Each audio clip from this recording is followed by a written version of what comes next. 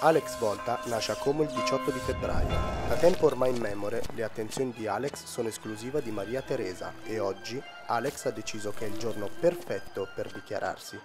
Anche Luigi Galvani si è invaghito di Maria Teresa e ha deciso che stasera è l'occasione giusta per conquistarla. Che bello quando brilli! Oh, questo non è niente. Mi illumino meglio quando la luna è in cielo. Perché non andiamo al Duomo stasera? Ok, vieni anche tu Alex, io adesso scappo, a stasera! Alex e Luigi si fulminano con lo sguardo e si sfidano a duello. Conquisterà il cuore di Maria Teresa chi di loro due sarà in grado di proiettare il fascio di luce più sfavillante sulla facciata del Duomo.